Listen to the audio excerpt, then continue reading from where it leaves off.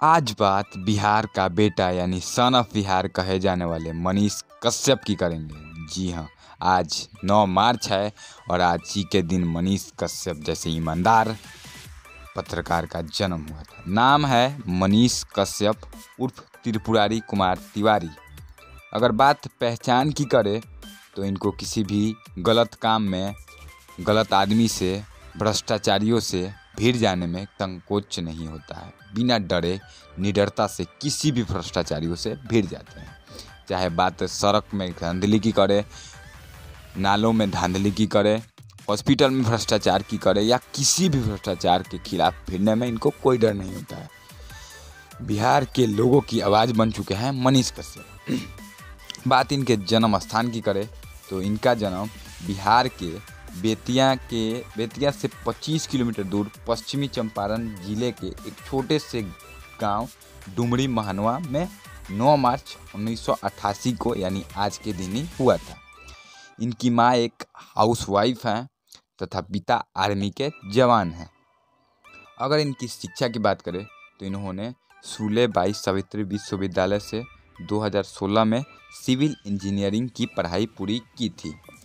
इनके news line में आने की अगर कहानी की बात करें तो बहुत दिलचस्प है, जिसे जानकर आपको भी गर्व होगा और आप कहेंगे कि एक इंसान अपने राज्य के लिए, अपने समाज के लिए क्या क्या छोड़ सकता है क्या क्या कर सकता है, आपको आगे हम बताएँगे। बने रहिएगा, वीडियो अच्छी लग रही हो तो लाइक ज़रूर कर दीजिएगा, कमेंट में मनीष कश्यप के लिए कुछ ना कुछ ज़रूर लिखिएगा। तो आपको बता दें कि इनका जो गाँव है, वह बहुत ही बाढ़ से ग्रसित क्षेत्र के रूप में आता है। हर साल शायद वहाँ बाढ़ आ जाती है बरसात के दिनों में। जिनको देखते हुए इनके मन में चल रहा था कि आखिर इस चीज़ को कैसे कम किया जा सकता है। भ्रष्टाचारियों के खिलाफ बोलकर जो कि वहाँ काम अच्छा ढंग से नहीं करवा पाते हैं, सड़कों की सड़क टूट जाते हैं सालों साल इसको लेकर इन्होंने न्यूज़ में कदम रखा। हालाँकि यह वीडियो काफ़ी साल पहले से बनाते आ रहे थे यूट्यूब पर। इनका पहले भी दो चैनल था, जिस पे पाँच लाख सब्सक्राइबर थे एक पे, उसको भी टर्मिनेट कर दिया यूट्यूब ने। एक और चैनल था, जिस पे एक लाख अट्ठाईस हज़ार सब्सक्राइबर थे, उसको भी टर्मिनेट कर दिया। उसके बाद इन्होंने सच तक ज्वाइन किया साल 2018 में। इनका एक वीडियो वायरल होता है और पूरे बिहार में फैल जाता है। जिसके बाद यह पूरे पॉपुलर हो जाते हैं। मनीष कश्यप ने अपने एक इंटरव्यू में कहा था कि बिहार में पैदा होने के लिए भी संघर्ष करना पड़ता है तो उसी तरह संघर्ष करके हम बिहार को भी बदल कर रख देंगे। और जी हाँ मनीष कश्यप ने एक ऐसा परिवर्तन लाया है जिसकी जितनी तारीफ़ की जाए कम है, और आप, हम भी उनसे सीख सकते हैं। उनके पिता का नाम कुलदीप कुमार तिवारी है, जो कि आर्मी के जवान हैं। मनीष कश्यप की उम्र की अगर बात करें तो वे 9 मार्च को चौंतीस साल के हो चुके हैं 9 मार्च 2022 को चौंतीस साल के हो चुके हैं। लेकिन उन्होंने इस बिहार के लिए अपनी शादी तक आज तक नहीं की। उनके एक छोटे भाई भी हैं, जिनकी शादी हो चुकी है।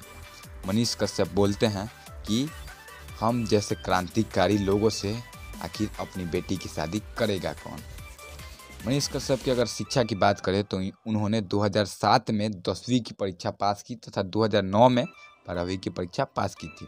मनीष कश्यप के अगर पत्रकारिता करियर की बात करें तो उन्होंने 2018 में पहली बार संस्थक से जुड़े थे। आपको जैसा मैंने पहले ही बताया, और उसके बाद से वे पॉपुलर होते गए होते गए। सच दिखाना काम है।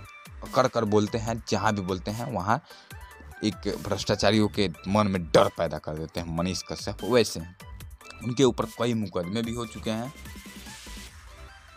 सरकारी काम में बाधा डालने के और भी कई आरोप लगे हैं, लेकिन सबसे ज़्यादा उनको सरकारी काम में बाधा डालने का आरोप लगा है क्योंकि वो समाज के लिए किसी भी सरकारी काम में भीड़ कर उसको सही ढंग से करवाने का प्रयास करते हैं।